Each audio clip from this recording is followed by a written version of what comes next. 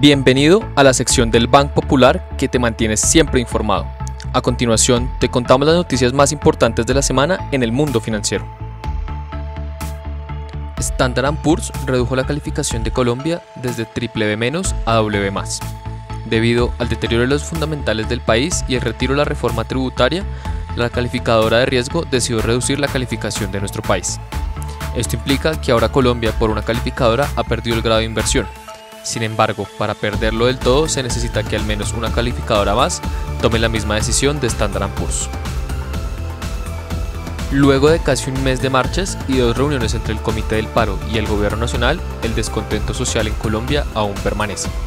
Para esta semana que arranca, el Comité del Paro ha convocado a dos marchas el 26 y el 28 de mayo, luego de pocos frutos en las mesas de diálogo pasadas con el Gobierno Nacional.